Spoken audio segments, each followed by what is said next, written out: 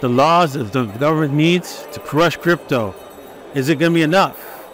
Good morning, good evening, good afternoon, wherever you are, whatever you are. Thank you for watching my videos. My name is Davinci Jeremie. I'm here in Istanbul, you know, 5 by 5 right? For the uh, Blo- Istanbul Blockchain Week conference here, uh, brought to you by uh, Toobit. Oops, Toobit right here. Uh, that's 2bit.davincij15.com. This is the exchange that you can go to with no KYC, right? You can actually start buying crypto, selling crypto without the government knowing that you're doing so, which is a good thing. All right, so um, today we're going to be talking about a few news articles, both KYC and the laws that uh, governments need to crush Bitcoin. But actually, I'm going to show to show you how it's not possible for a government to crush Bitcoin, to crush crypto. It just can't happen.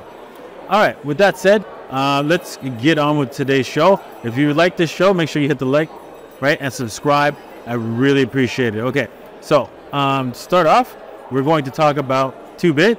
It is the exchange that has brought me here to Istanbul, and I really appreciate them having me here and hosting um, them at at uh, this uh, great conference. There's a lot of people here, a lot of people taking my pictures. Make sure you follow me on Instagram to see uh, what's going on here at the conference, and yeah, you can see all kinds of cool things I'm doing in Istanbul with um, with uh, Toobit. And if you sign up for Toobit, you can get up to nine thousand dollars or more in bonuses. So check that out. Okay, with that said, let's move on to the news. We need new laws to combat crypto crimes. Like really? Meaning you need new laws to crush crypto. Okay, lawmakers should be alarmed by the increasing use of digital assets like cryptocurrencies for money laundering, drug trafficking, terror financing, and other financial crime. Dum dum dum. mm-hmm. Mm-hmm. Sure. Sure. It's all about the crime. Stopping the crime. No, it's about stopping you from using crypto. That's what it's about. Nations like Russia, Iran, and North Korea have used digital assets to evade sanctions, launder stolen funds, and fund illegal weapons. Mm, can have that. Meanwhile, you know they've been doing all that before crypto, just so you know. North Korea actors, for example, reportedly stole more than 1.7 billion in assets in 2022 and laundering coins using sophisticated technical techniques such as chain hopping. Oh my God! The process of converting one currency into another to hide illicit funds. Oh. okay, okay. We want to know how laughable that is. You want to know how laughable? Let's let's take a look at the total amount of money laundering just in um, one year. Anywhere from 800 billion to 2 trillion. That's what the United Nations estimate. So, so and how much did, did North Korea do? A piddly, piddly, 1.7 billion. so that means uh, the bigger crimes are being committed elsewhere because North Korea can't do, do jack. Right? I mean, do you know that the fine for money laundering that HSBC Bank got was last year was less than how much they made in money laundering. So, what was that fine? Two billion dollars.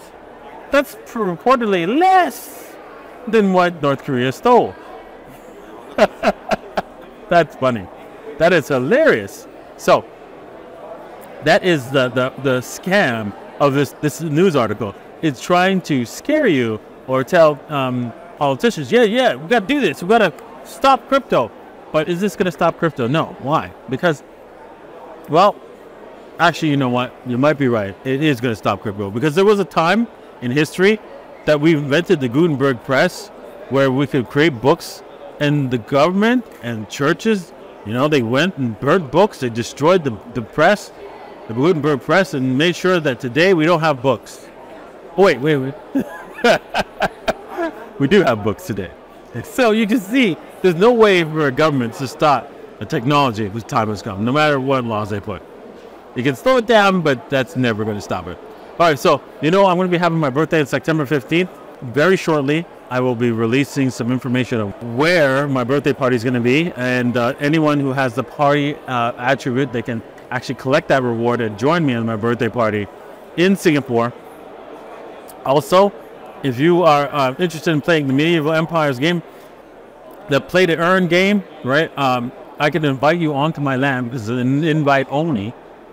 Uh, I've invited a lot of people already, so there's not a lot of slots left. They haven't jumped in on the game, and I'm very disappointed in you guys. I'm going to kick you out if you don't start playing, right? So that other people can actually play. So come on in, play the game. If you don't play, you get go kicked out, and somebody else can play. So join in. If you if you just have the Davitar, you could join in by just heading over to Davitar, click on rewards, connect your wallet, show me you have your Davitar, and then boom, your email is all I need to in order to sign you up to play Medieval Empires. Look out for my email from my personal email that uh, hey, you've been signed up.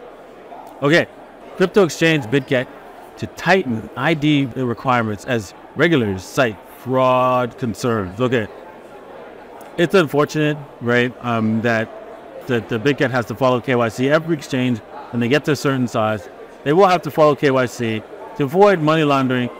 Yes, because, you know, uh, exchanges do over 800 to 2 trillion money laundering, which they don't. Uh, yeah, the money laundering thing is just just replace money laundering with tax evasion, meaning that if you need to pay tax, you need to pay taxes. We don't want you, the poor person, to make a lot of money and not pay taxes. No, no, no. Not paying taxes is the reserve for the rich. All right, let's do some uh, TA with uh, um, Bitcoin and Ethereum to end off the show. It's been pretty boring. I would have expected a big pump here, uh, back up, and then uh, another dump. But no, we went completely sideways for a very long time. There is there was a attempt to go down um, and it failed, and then you know uh, just as I was setting this up, there was a big pump, and then it just dumped back down, and you can see that uh, it's emming out on the minute chart, and probably even on the five minute chart. So this means that we're probably going to break down once again if we do a Fibonacci chart retracement here. You can see we're probably going to retest the 38.2 or as low as the 61.8 from this move here. So most likely because the, the M is not going to, uh, it's not that big, it's just going to retest the 38.2 at uh, $25,823. And then we're going to come right back into the, the, the point of control, which is around this, this $26,000 uh, range. Heading over to Ethereum. Ethereum has rolled over a little bit. So on the daily, uh, we've broken down.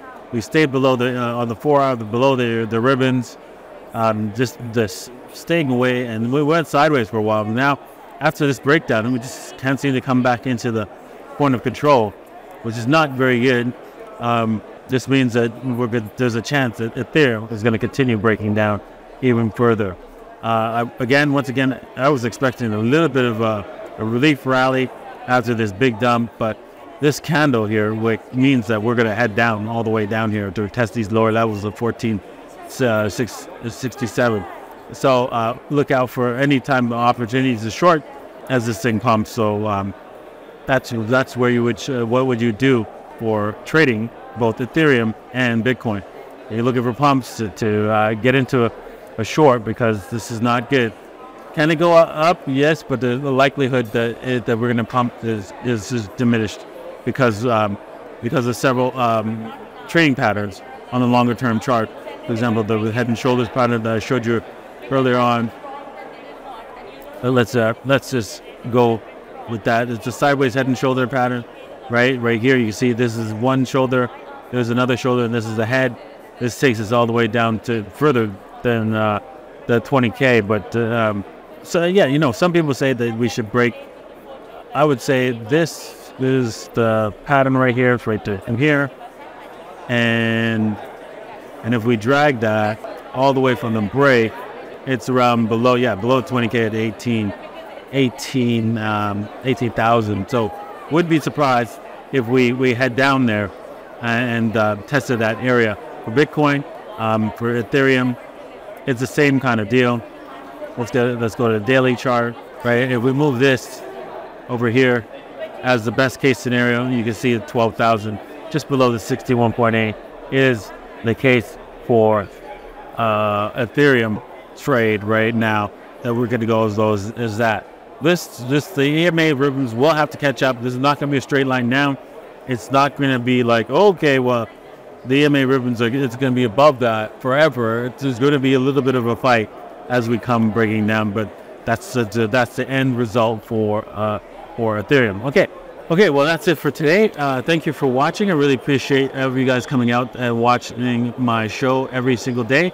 I plan to do another show tomorrow, and uh, but maybe not on Friday because I do have plans to uh, fly out to another city to check out in um, Turkey, and then yeah, I probably won't have a time to do a show, but I'll do my best. If I can do a show on Friday, I will do one, but tomorrow for sure. So looking forward to see you guys tomorrow, and uh, peace.